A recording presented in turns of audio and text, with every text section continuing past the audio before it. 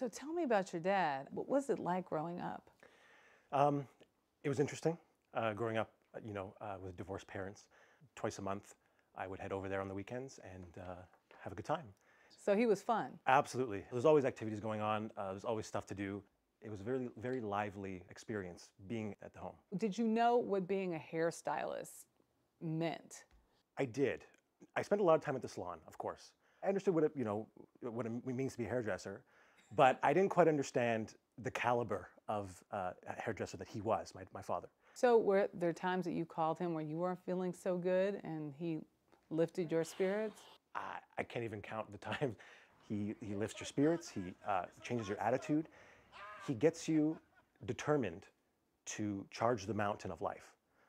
And he would absolutely turn your mood around if you're having an awful day. So he was cool. He was Yeah. He was hip. Oh, for sure. I mean, as far, as far as dads go, I had a pretty cool dad. Yeah, that's, that's for sure.